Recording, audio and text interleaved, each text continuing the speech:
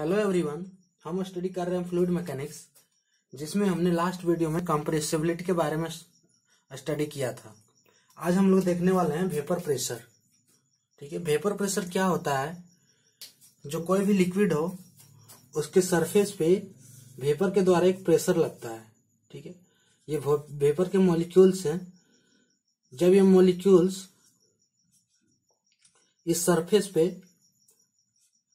एक force exert करते हैं तो उस फोर्स के कारण जो वेपर में प्रेशर लगता है उसे ही हम लोग एक प्रेशर जो इस फोर्स के कारण जो एक प्रेशर एग्जर्ट करता है उस उसे ही हम लोग वेपर प्रेशर कहते हैं तो pressure exerted by vapour of a liquid on the liquid surface is known as vapour pressure ठीक है pressure exerted pressure exerted by vapor. Pressure exerted by vapor of a liquid on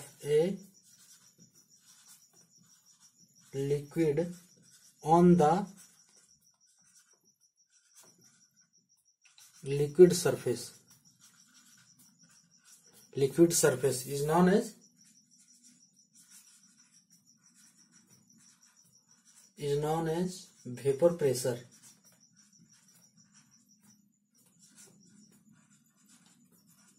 ठीक है अब vapour pressure को हम major कैसे करते हैं ठीक है तो इसको मेजर करने के लिए सपोज दैट ये लिक्विड के सरफेस पे जो वेपर द्वारा प्रेशर लगाया जा रहा है ठीक है गैस के मोलिक्यूल्स द्वारा जो फोर्स लगाया जा रहा है उसके द्वारा जो प्रेशर जो एग्जर्ट हो रहा है उसे वेपर प्रेशर कहते हैं ठीक है अब हम जब इस इस लिक्विड को गर्म करते हैं ठीक है इस लिक्विड को हीट करते हैं तो ये जो सरफेस पे लिक्विड के मोलिक्यूल्स हैं तो हीट होने के बाद ये इसका हीट जैसे हीट का जो टेम्परेचर इसका बढ़ते जाता है तो जो लिक्विड के मोलिक्यूल्स है धीरे धीरे इस सरफेस को छोड़कर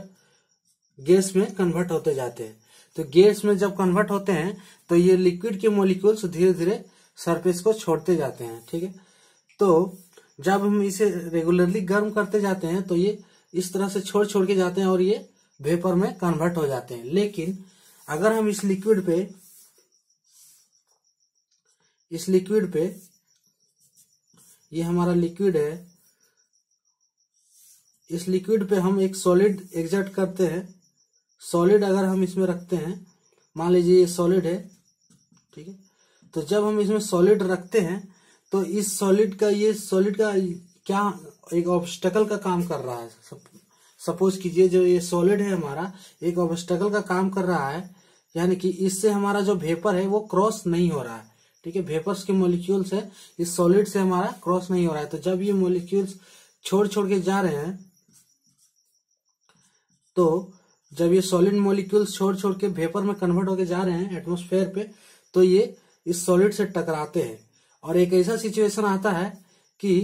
जो ये सॉलिड से टकराने के बाद वेपर मॉलिक्यूल्स पुनः ये लिक्विड में कन्वर्ट होते हैं यानी कि ये जो यहाँ से कंडेंसेशन प्रोसेस शुरू होता है ठीक है तो एक ऐसा सिचुएशन आता है जहाँ पे रेट ऑफ जो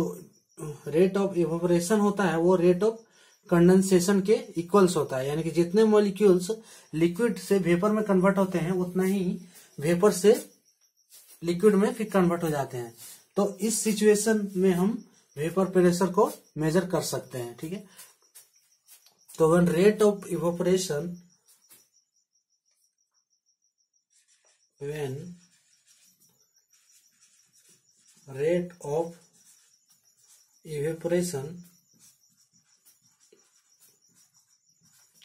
evaporation equals to rate of condensation rate of condensation condensation that time that time measurement of pressure is known as vapor pressure that time measurement of measurement of pressure is known as is known as vapor pressure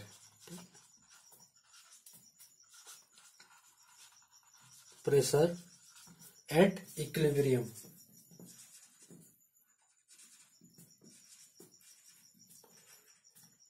जो vapour pressure को measure किया जाता है सिर्फ equilibrium condition में इसे major कर सकते हैं ठीक है it can measure at equilibrium condition ठीक है it can measure at equilibrium condition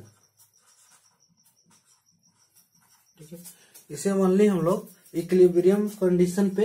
major कर सकते हैं और इसके क्रोस्पॉन्डिंग जो इस समय प्रेशर इस पे एक्ट करता है और जो इस लिक्विड का टेम्परेचर होता है उसे ही हम लोग saturation pressure and saturation temperature कहते हैं ठीक है तो at this condition at this condition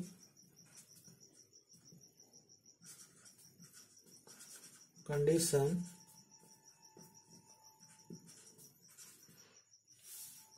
pressure and corresponding to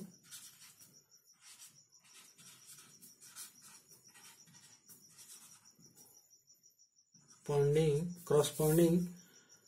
pressure and temperature temperature is known as known as saturation temp saturation saturation pressure and saturation temperature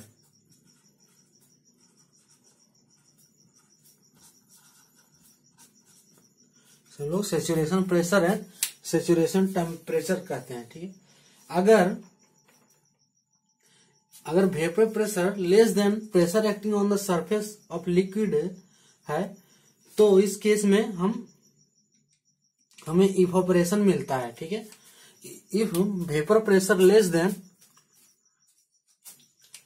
if vapour pressure if vapour pressure vapour pressure less than pressure acting if pressure pressure vapour pressure less than pressure acting on the surface of liquid less than pressure acting on the surface of liquid अगर ये less है तो इस case में हम हमें क्या मिलता है we get evaporation then we get evaporation अगर जो वेपर प्रेशर है वो इक्वल है pressure acting on the surface of liquid तो इस केस में हमें बॉइलिंग मिलता है ठीक है if vapour pressure equals to pressure acting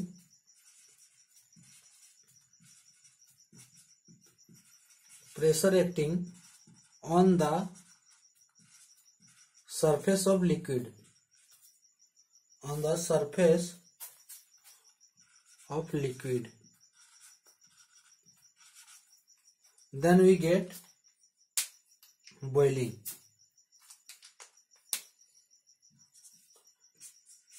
then we get boiling ठीक है अगर वेपर प्रेशर जो है वो लेस देन है pressure acting on the surface of liquid तो इस केस में इवोपरेशन मिलता है और अगर वेपर प्रेशर इक्वल्स टू है pressure acting on the surface of liquid तो इस केस में हम मिलता है बॉइलिंग ठीक है अब देखते हैं कि इसमें वेपोराइजेशन क्या होता है तो अगर M K G of liquid जो कम्प्लीटली कन्वर्ट हो जाता है एम के जी ऑफ गैस में तो इस फेज ट्रांसफॉर्मेशन को हम लोग क्या कहते हैं वेपराइजेशन ठीक है if M K G of liquid इसको नोट कर लें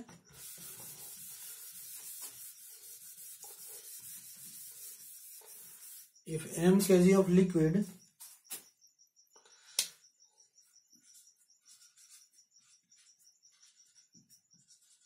vaporisation if m kg of liquid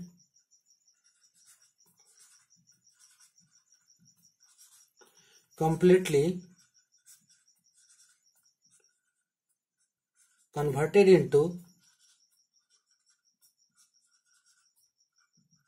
into m kg of m kg of gas or vapor then this phase transformation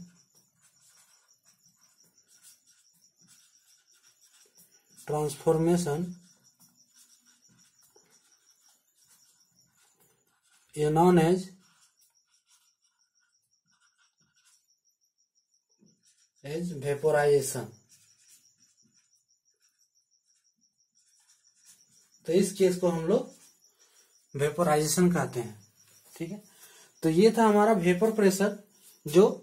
fluid पे हमारा एक्ट करता है ठीक है तो आज के टॉपिक में इतना ही थैंक्स फॉर वॉचिंग